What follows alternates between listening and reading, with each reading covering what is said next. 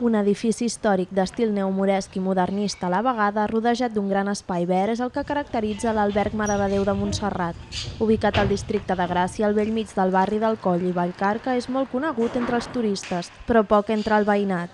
L'Alberg ha engegat un procés d'obertura al barri per donar-se a conèixer entre les famílies, associacions i escoles i crear vincles amb els visitants allotjats. Un no s'espera quan arriben aquí, és entrar i trobar-se doncs, tots aquests vitralls que tenim, l'escala de marbre, aquesta decoració mig eh, bueno, mig no, mosàrab que tenim. El grup d'estudis al Coll Vallcarca ha acabat un itinerari cultural pel barri a la terrassa de l'Alberg, que comença a ser un punt de trobada de les entitats. És un puesto molt privilegiat, per tant tenim aquí, un s'acosta aquí a la barana, veu el Parc Güell, eh, veu la muntanya pelada. En aquí dalt de tot, Gràcia Nord, hi ha pocs espais que tinguin la capacitat i, i els horaris que tenim nosaltres, que estem oberts tot l'any, que podem donar cobertura a molts col·lectius, vull dir, espais de 150 persones, menjador per 150 persones.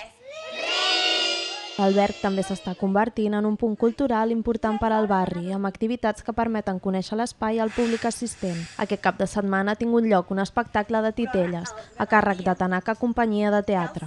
És un lloc especial de Barcelona que molt poca gent coneix i llavors doncs, pels nens és fantàstic, poden veure un espectacle i després jugar aquí fora, que poques vegades trobes això dintre d'una ciutat.